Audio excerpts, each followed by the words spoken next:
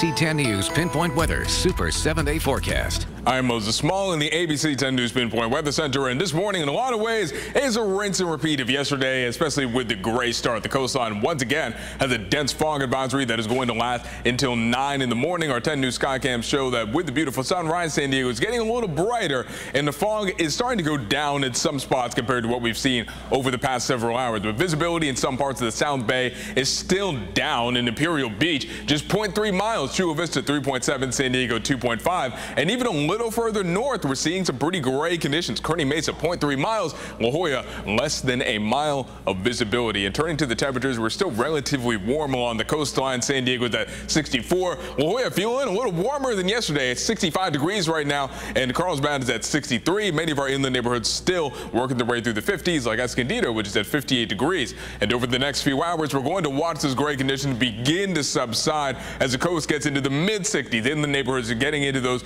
upper 60s. 60s. And then when we see today's highs, we're still feeling a lot like summer, really lots of sunshine, but not quite as hot as yesterday. San Diego reaches up to 75 degrees in the neighborhoods, a high of 88, mountains 84, desert's reaching up to 103. And we're going to notice a big shift happening over the weekend as a trough of low pressure brings in a big cooling pattern that's going to crash our temperatures by an additional 10 to 20 degrees, depending on where you are. It's going to bring some wind and also a little bit of rain. We can see that playing out with San Diego seven-day forecast. High of 75 for the day. Monday, 67, looking at a tenth of an inch of rain maximum. Not huge showers. In addition to that, we have this big cool down for inland neighborhoods especially, but we broke a few temperature records. For some reason, they were all set in 2003 in terms of ones that were broken. Ramona hit 97 yesterday. Palomar Mountain hit 83. Campo hit 98 degrees. So after this record-breaking heat, our inland neighborhoods are cruising down to just 60.